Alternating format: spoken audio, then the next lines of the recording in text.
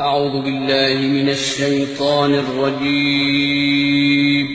پناہ مانگتا ہوں میں اللہ کی شیطان مردود سے۔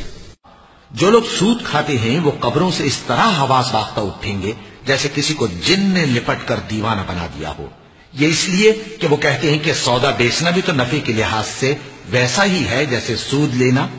حالانکہ سودے کو اللہ نے حلال کیا ہے اور سود کو حرام۔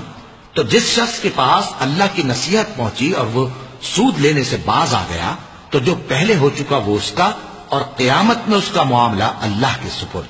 اور جو پھر لینے لگا، تو ایسے لوگ دوزخی ہیں کہ ہمیشہ دوزخ میں جلتے رہیں گے۔ اللہ سود کو نابود یعنی بے برکت کرتا اور خیرات کی برکت کو بڑھاتا ہے۔ اور اللہ کسی ناشکر گناگار کو دوست نہیں رکھتا۔ جو لوگ ایمان لائے اور نیک عمل کرتے اور نماز پڑھتے اور زکات دیتے رہے، ان کو ان کے کاموں کا صلہ اللہ کے ہاں ملے گا اور قیامت کے دن ان کو نہ کچھ خوف ہوگا اور نہ وہ غمناک ہوں گے۔ مومنو، اللہ سے ڈرو، اور اگر ایمان رکھتے ہو تو جتنا سود باقی رہ گیا ہے، اس کو چھوڑ دو۔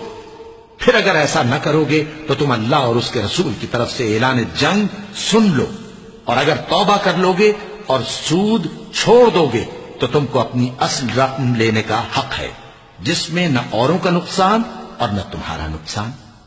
اور اگر قرض لینے والا تنگ دست ہو، تو اسے کشائش کے حاصل ہونے تک مہلت دو۔